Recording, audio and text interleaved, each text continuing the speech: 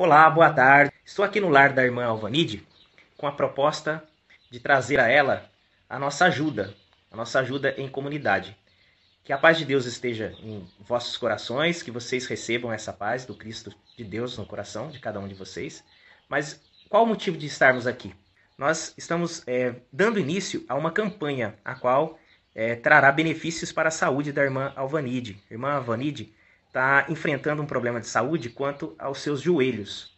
Ela tem passado muitas dores, já está fazendo o acompanhamento médico, o médico já deu o laudo quanto a essa questão da dor no joelho dela e é um problema de articulação. Ela, a articulação dela já foi gasta, é, não tem mais o que fazer assim, a não ser uma cirurgia.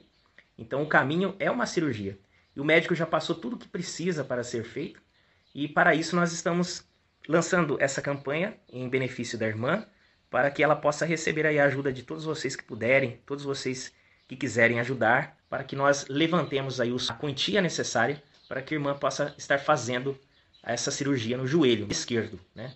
São os dois joelhos, o direito e o esquerdo, mas o esquerdo dela é o que está mais crítico e precisa desta cirurgia.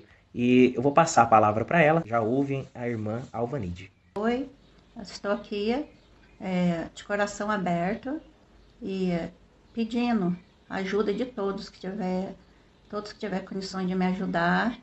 Eu agradeço de coração, porque eu não posso é, ficar assim, o médico falou que eu tenho que fazer mais rápido possível a cirurgia, porque eu não posso, é perigoso é, ter uma fratura e isso aí é muito difícil, então ele pediu que para mim fazer a cirurgia mais rápido possível.